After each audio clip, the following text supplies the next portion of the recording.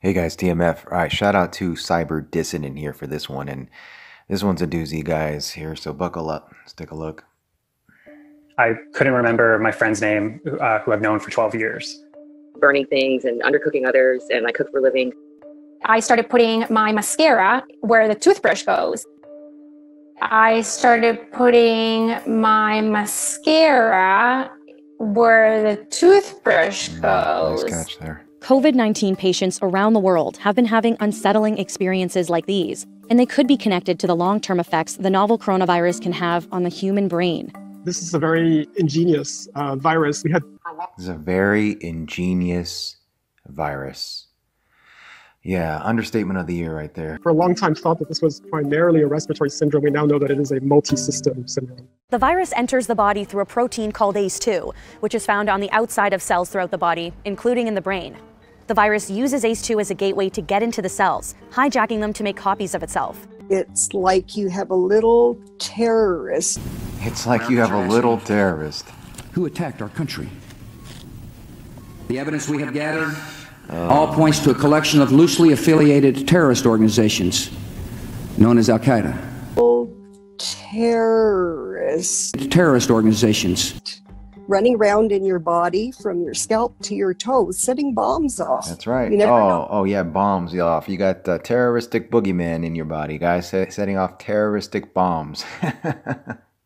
never know what's going to hit you next. The World Health Organization says most people who get COVID 19 recover from it.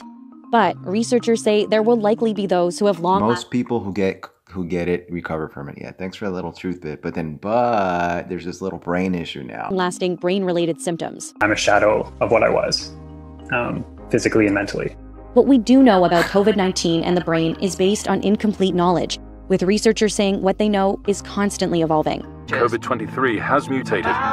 Constantly evolving. So utterly convenient. Now, this is the Songbird trailer, right, guys?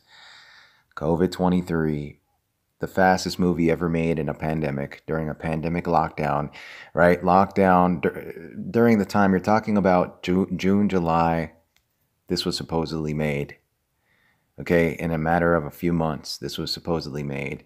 And with when Hollywood and all filming is supposed to be on lockdown and halted and postponed, this was somehow made with every prediction you can possibly imagine that's taking place now and it's about to take place and come to fruition, including what?